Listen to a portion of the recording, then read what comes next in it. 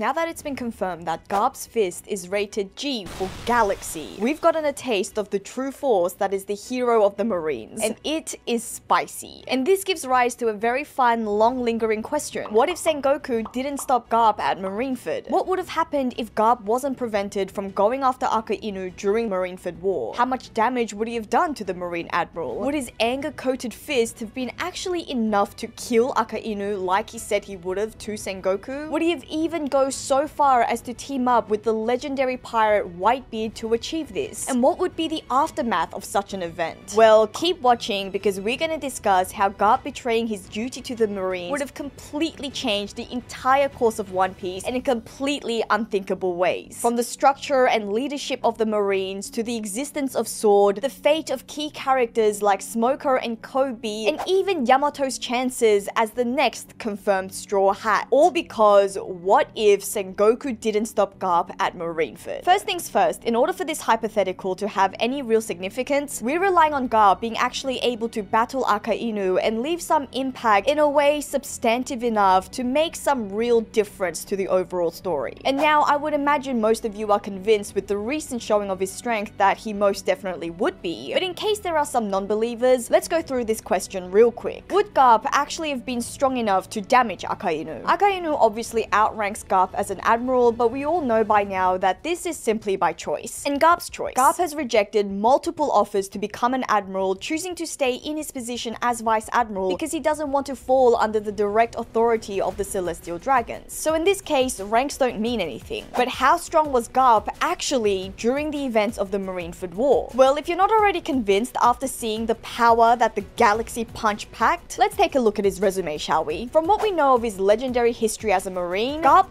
may very well be the strongest of the Navy. At his prime, he went toe-to-toe with Gol D. Roger, the former Pirate King, and together they were enough to take down not only Rox D. Xebec, but the incredibly overpowered Rox Pirates, a crew consisting of some of the most legendary, strongest pirates in the series, including Whitebeard, Kaido, and Big Mom. If that's not enough, take Don Chinjao's word for it. Garp was considered the devil to all pirates, despite having a bounty of 542 million berries at the time, and a headbutt strong enough to split a continent. Garp defeated Chinjao, easily denting his head in the process with just one punch. In his training to fight Chinjao, Garp crushed not one, not two, not three, or even seven for that matter, but eight damn mountains. How does a man flatten eight mountains? And with just his fists, no devil fruits? Haki. And Garp has sure mastered Haki. Now some of you may say, a lot of this is about Garp in his prime. So how do we actually gauge his strength during the war at Marineford as an old man? Well,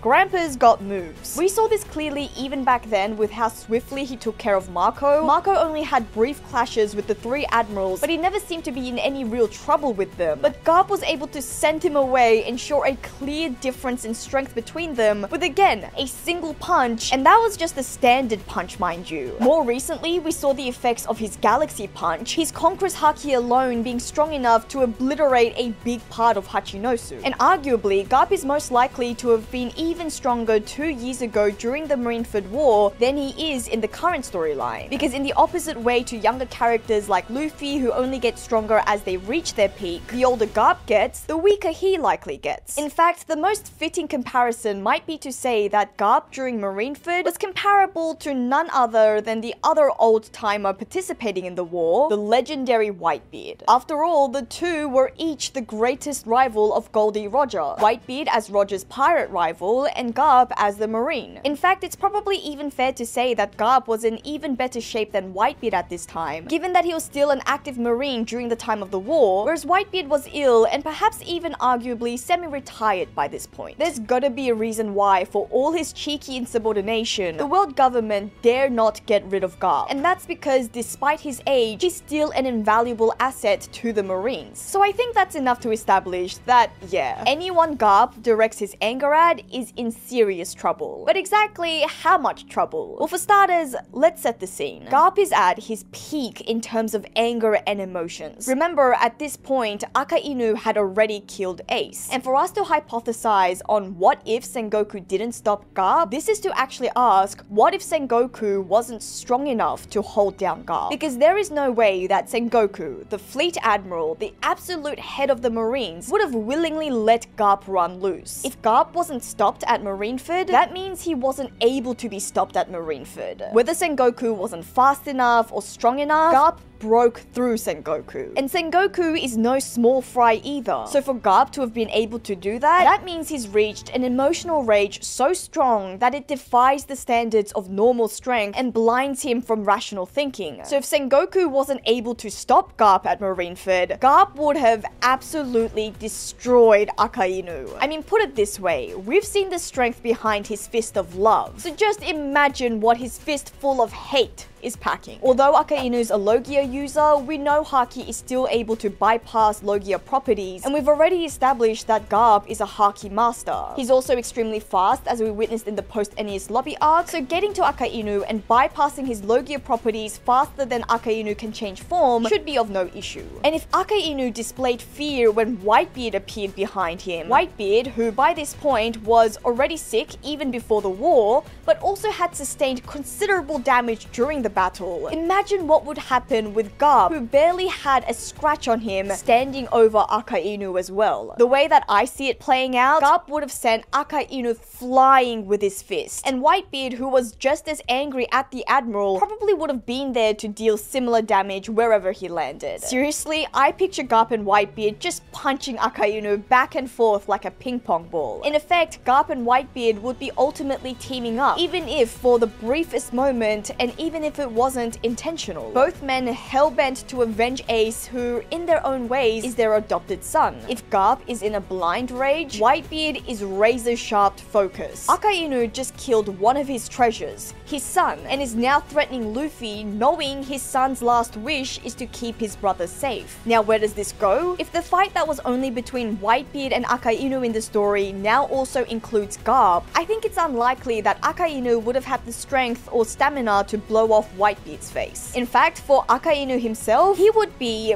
pretty damn close to death. Definitely passed out, taken to an inch of his life, but before anyone can finish him off for good, Blackbeard appears. And I think this will have the same effect as it did in the story. The whole battle shifts. It's the wake-up call that Garp needed to bring him out of his emotional blindness, and as he comes to his senses, Garp realizes the traitorous act he's just committed to his duty as a marine. And although he doesn't want to help the pirates' chances at war, he also comes to the conclusion that he's no longer fit to carry out his duty as a marine, and therefore just stops fighting, just standing still in the middle of the battlefield. Meanwhile, Whitebeard's attention would be diverted to the treacherous Blackbeard, his former son, and the man responsible for Ace being at the hands of the Marines in the first place. So the fight between Whitebeard and Blackbeard still would have happened, and Whitebeard would have still died given his illness and just how many injuries he'd sustained, even without that last one from Akainu. But Akainu, now unconscious, wouldn't have been there to cause so much trouble for the Whitebeard pirates trying to escape with Luffy, and this also means that Akainu wasn't able to pursue Jinbei escaping with Luffy, meaning he never dealt that magma punch that hit Luffy through Jinbei. And what that means is that Luffy would no longer have that iconic scar on his chest. It also means that Law wasn't needed to perform surgery on Luffy, but I still think that Luffy would have ended up in Amazon Lily, and Luffy's story arc would have continued in the way that it did in the series, just minus that iconic scar. In the war front, Akainu wouldn't have attacked Koby because he's still unconscious, but Shanks would have still arrived and supported Koby's pacifist cries, putting an end to the war. Post Marineford, Luffy's story will continue the way that it did, going to Amazon Lily, grieving and recuperating, only to gloriously return to the plaza and ring the bell 16 times, heralding the new era. However, when it comes to Garp, the question of what to do with Garp would be a huge dilemma that would cause some great political divide within the Marines. Those who view Garp as a disgrace and wish to lock him up for his insubordination, while others are still loyal to the legendary Marine. Ultimately, I think Garp himself would accept a very harsh punishment, even to the extent of being locked up in Impel Down. This would be his way of owning up to his actions. After all, he's a man with honor and great pride and integrity who respects the institution of the Navy. His actions against Akainu were purely personal, and it would be Garp's second biggest regret that he besmirched the Navy by attacking Akainu. His biggest regret still being the fact that he sat by and didn't help Ace before it was too late. But I think Garp himself would chose to go to prison to show respect to the Marines and maintain a sense of justice. However, this would cause a huge dropout rate within the Navy because Garp is truly a beloved man within the ranks, a hero to many Marines. If Garp went to jail, I'm certain there's a lot of men who would have left the Navy in protest. And this would heavily reduce the manpower of the Marines. But this would go on to have even bigger implications for the Navy when it comes to assigning the next fleet admiral. Sengoku would have still chosen to step down as he did in the real story, and even more so now that his close friend is in prison, which I'm sure causes him some personal pain, no matter how much he feigns annoyance at his old friend. But also, similar to Garp, stepping down would be Sengoku's way of accepting responsibility for failing to pin down Garp and stopping his rampage on Akainu as he should have. So the fleet admiral position would again open up, with the candidate still being Akainu, who is backed up by the higher-ups, and Aokiji, who is recommended by Sengoku. Except this time, the battle would be an entirely different story. For one,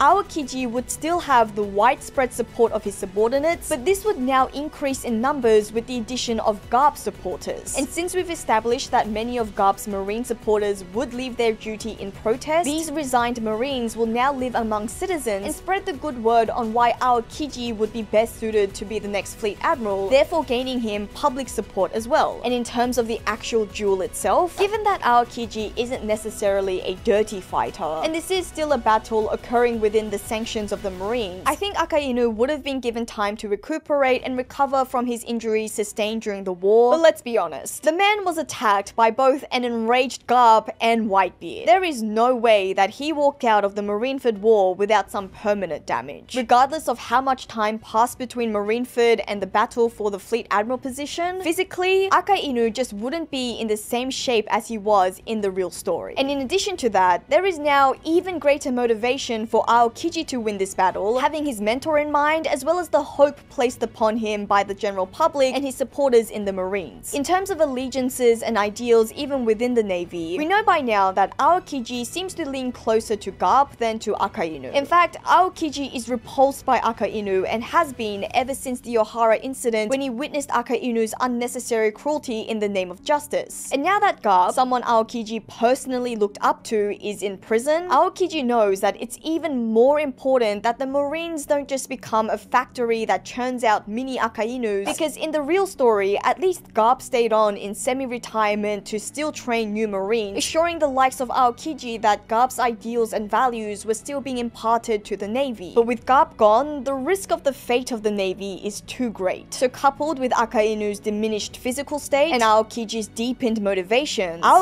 wins the battle at Punk Hazard and therefore becomes the next fleet admiral. As for Akainu, I don't think that he leaves the Marines just because Aokiji won. At the end of the day, Akainu's beliefs are absolute justice, and I don't think his ideals allow him to see that he makes an impact in the world outside of the Marines in the same way that Aokiji described during his conversation with Smoker after leaving the Navy. Speaking of which, if Aokiji became fleet admiral, this means that he never would have left the Marines and therefore would not have become the wayward traveling cyclist, meaning that he wouldn't have been there at Punk Hazard to save Smoker from the hands of Doflamingo, because it was after all a wandering Aokiji who stopped Doflamingo from killing his friend. But with no Aokiji, goodbye Smoker. This also means that Aokiji wouldn't have joined Blackbeard's crew, and who knows what sort of ramifications that would have had. For example, it's speculated that it was Aokiji who tipped off the revolutionaries that Blackbeard was on his way to their base, and that's how they escaped. Had Aokiji not been a double agent spying on Blackbeard's crew, the revolutionaries may have also been rendered to a very depleted state. It's also possible that Pudding wouldn't have been captured as we saw in the Germa Double Six cover stories, although I think it's more likely that they would have sent someone along with Van Augur, and with Big Mom's strongest child still in his weakened state after his battle with Luffy, that storyline's still likely to have played out the same way. Something radically different, however, is what would have happened with Sword. This one's difficult to say for certain because we don't know the extent of who is working in Sword or how long they've been in operation.